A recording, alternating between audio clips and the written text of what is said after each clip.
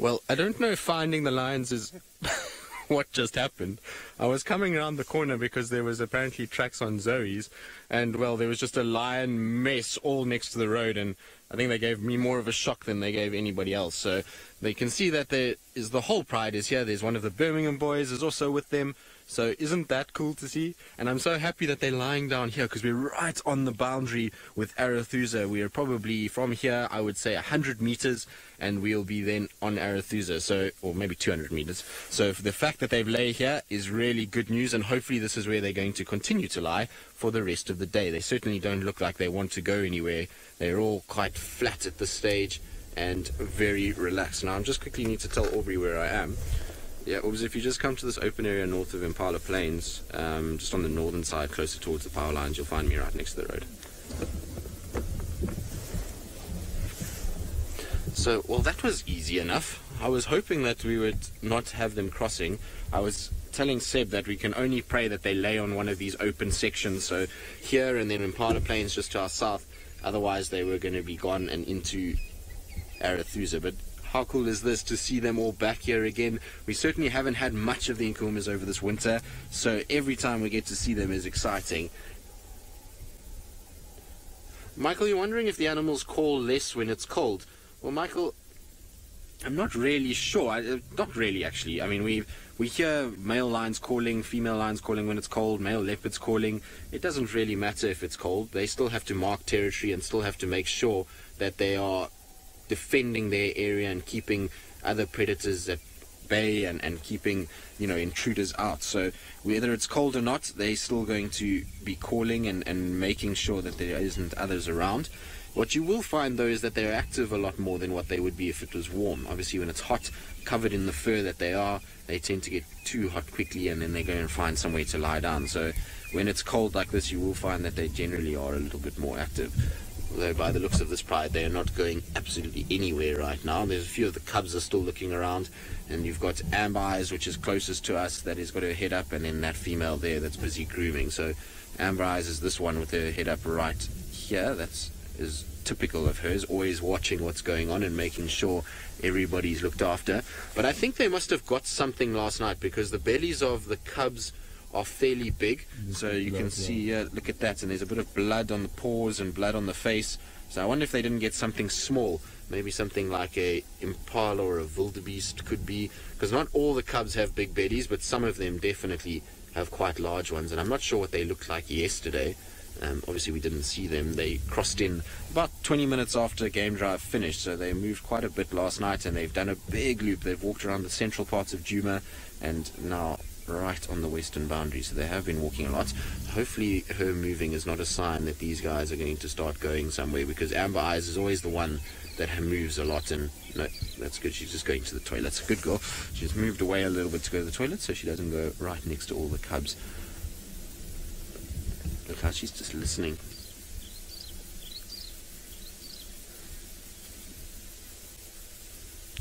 Kathy and Jude's mummy, you want to know do oxpeckers land on predators? No.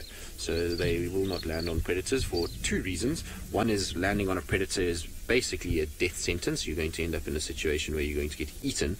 And the second thing with landing on a predator is that there's very few parasites for them. Remember, predators are very good at grooming themselves, particularly something like a lion. They will spend hours grooming each other and themselves, and so the tick load and parasite load on a lion is so little that the oxpeckers really to get to take the risk to land on them to feed is not worth it in any way. So if you've had a domestic cat, you'll know that they hunt birds effectively, and even big cats like this, if a bird was close enough, they would grab them. I've seen lions killing guinea fowl and francolins many times over the years, so it's definitely something that they do go after.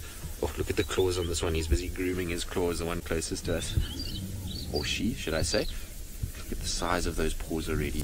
And you can see the bits of blood that Seb was talking about just now. Seb spotted the blood on that paw just now. So just grooming in between all the claws, making sure that we get rid of any of that bits of gunk that might develop inside there. Now I see another lioness is just walking a little bit. I wonder if they're just going to be up and down. I hope not. I hope this is where they want to settle for the day because if they move any further to the west, like I say, we're not going to have them for much longer. I'm trying to see the female that's got the hole in her tummy. I think she's the female at the back there. Patrick, the lion cubs will be weaned at about I would say at about eight months. They generally, oh, she is she peeing on the other one? She is. Oh no, that's not nice. that's not a nice way to start your day, that's for sure. I would not want to be peed on by a lion. But Patrick, the lion cubs will be weaned completely at eight months. Sometimes a little bit earlier. You sometimes find at six months already the females are not producing too much milk, but eight months is around the time. Now, this Nkuhuma Pride, these little ones, they're well over a year now. Remember that they were born in about May last year, so they've developed a little bit and they are now getting very large and they will no longer be on milk at all. You can see they're up and moving. I don't think we're going to have the Nkuhuma Pride this afternoon, unfortunately. I think they're going to continue this movement. In terms of the Birmingham boy, I actually haven't looked at him enough to know who it is just yet.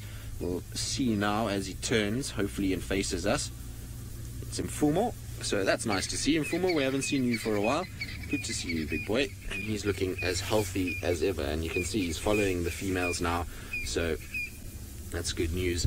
And hopefully they will settle again. It doesn't look like they are. They're full bellied, so I wouldn't expect them to be walking too much unless they want water. In which case, if they want water, the next place for water is Red Dam, which is inside Arathusa and is in a straight line basically from where we are now.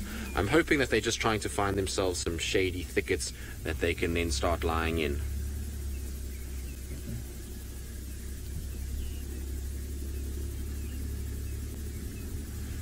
Oh, hi, Bacon. You want to know is if it's true that if you stare at lions for long enough that they'll start to get agitated and growl at you.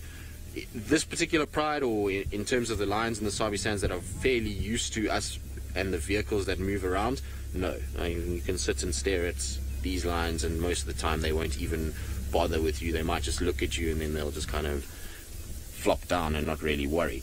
Um, if you're on foot, yes, then that's a very different story. If you're on foot and you stare at them like that, they, then tend to get quite upset, much like what you'll see with leopards as well. Leopards, when you're tracking them, if you walk straight past them, and even if they're very close, they'll often just flatten and, and they'll look at you and they won't worry too much. As soon as you pay attention to them, they'll then get far more aggressive because they've now been spotted. But the little cub is just sniffing the air. Now this is the little cub that's got quite deep amber eyes as well. So this one's got much darker eyes than what amber eyes has got, but they are still quite orange in comparison to some of the others.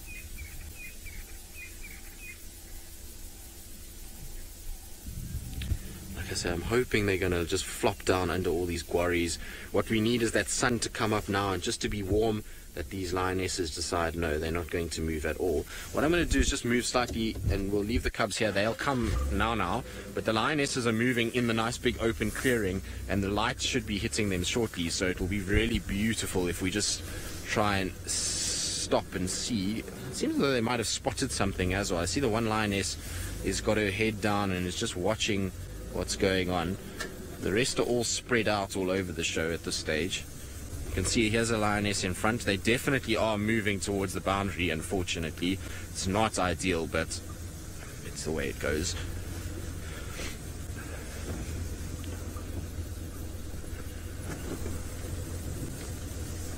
They're just saying hello to everybody that is out with us this morning. They, I'm sure, are as cold as we are, but very happy and excited to be seeing lions. So you can see there she stands now.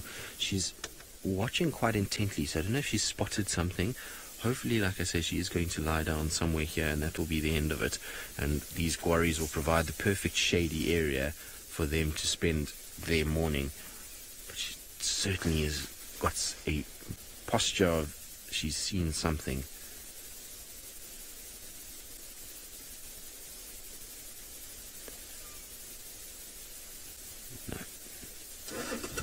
Isn't she beautiful? Look at those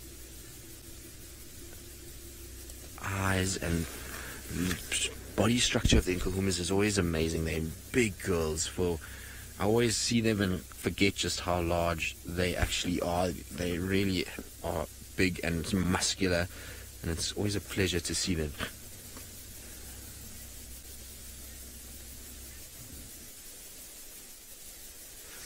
So, Lynn, the Birminghams, you're wondering if all Birminghams have mated with the Nkuhuma Pride. As far as I know, yes, they have. Um, so you'll find that all of them have, but that you'll find that Mfumo and Tinyo tend to spend a lot of time with the Nkuhumas. Nena and Nsuko every now and then, but Mfumo and Tinyo are ones that spend a lot of time. We find that Nsuko, he tends to be a lot with the Styx Pride and spends a lot of time down there and in the south, and Nena bounces around all over the place. But Mfumo and Tinyo mostly with the Nkuhumas, and, and, but they have all mated, as far as I know, with the varying different females. That's good. Lie down there. Well done. That's what we need. We need static lions. That certainly will make life much better for us. But I heard something in the distance, and I couldn't hear nicely because a vehicle started, but it sounded almost like leopard or lions fighting in the distance, and I saw all the lions looked immediately that way. So not sure if it was an elephant or, or leopards going at each other, but there certainly was a noise that came from our south at the moment. Our lioness is up and moving again. Right, well, we're going to follow our Nkuhuma Pride. We'll stay with them as long as we can. Hopefully they don't cross over, and while we do that, I believe Jamie is out in the beautiful sunshine of the Mara and wanting to say good morning.